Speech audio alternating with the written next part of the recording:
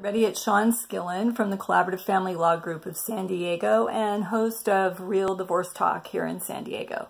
So we were doing Real Divorce Talk today and the topic was the house, what to do with the marital residence in the instance of divorce. And the question came up from one of our viewers, what if I saved $40,000 of my own money prior to marriage and then used that after marriage as a down payment on the house that we both own together? In the divorce, do I get my $40,000 back? And the answer is yes, you do. If you can prove it and you have a paper trail, or if your spouse agrees that that's what happened, then you will get your $40,000 back, assuming there's $40,000 of equity in the house. But you don't get any interest and you don't get any appreciation, just the straight 40,000. So everybody keep track of those paper trails.